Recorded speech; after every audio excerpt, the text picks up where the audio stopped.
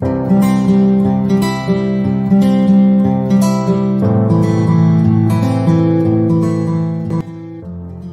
उपयोग मिर्गी के इलाज के लिए किया जाता है।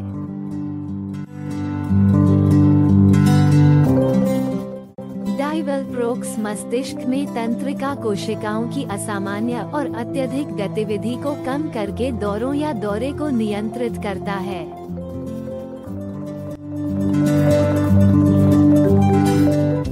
डॉक्टर द्वारा सलाह के अनुसार इस दवा को खुराक और अवधि में लें। इसे भोजन के साथ या बिना लिया जा सकता है, लेकिन इसे एक निश्चित समय पर लेना बेहतर है धन्यवाद